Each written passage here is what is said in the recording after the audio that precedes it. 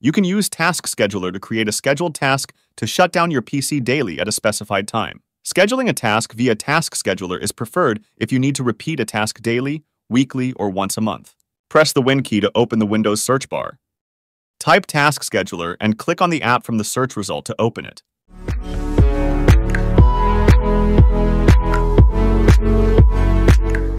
In the Task Scheduler window, click on Action and select Create Basic Task.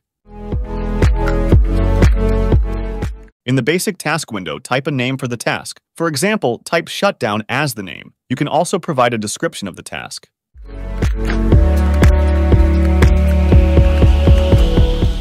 Next, select a trigger point. You can choose from daily, weekly, monthly, one time, etc. For this video, I will select the daily trigger to schedule a daily shutdown at a specific time. Next, set the start date and time for the recurring shutdown and click Next. In the Action tab, select Start a Program and click Next. Type shutdown.exe in the program or script field and click Next. Review the changes and click Finish to create and add the new task to your Windows schedule.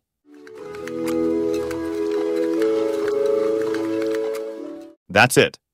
The task scheduler will trigger the shutdown action daily at your specified time and power off your PC.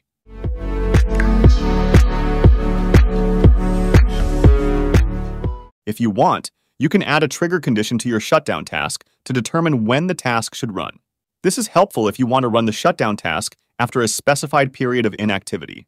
For this video, we will modify the shutdown task created earlier. If you want, you can create a new task as well. Right-click your existing shutdown task in the Task Scheduler and select Properties. Open the Conditions tab in the Properties window. Select Start the task only if the computer is idle for the option. In both the time fields, enter the same time. For example, if you enter 10 minutes, the task scheduler will wait for the system to be idle for 10 minutes before triggering the shutdown task. You can choose anywhere from a few minutes to two hours.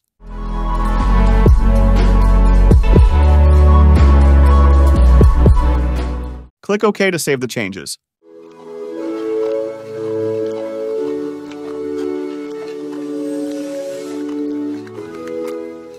To stop automatic Windows shutdown, you'll need to delete or disable the scheduled task in Windows Task Scheduler. Disabling it is best if you only want to stop it for a temporary amount of time, but if you're tired of your PC turning off by itself, it's best to delete it instead.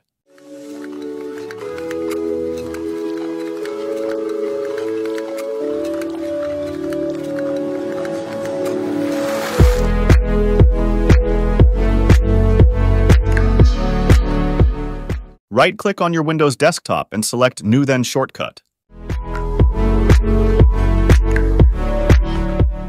In the Shortcut wizard, type the following command in the Type the location of the item field. In the command, 300 represents the number of seconds for the timer. You can change the seconds as per your need.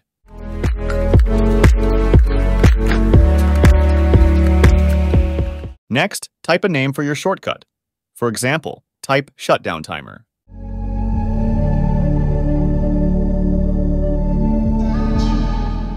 Next, right-click on the Shutdown Timer desktop shortcut and select Properties. In the Shortcut tab, click on the Change icon. Select an icon that represents the shortcut best. For this video, I will select the power icon.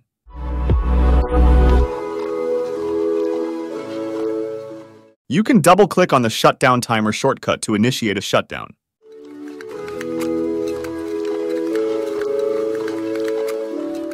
To cancel the shutdown, use the shutdown A command in Command Prompt.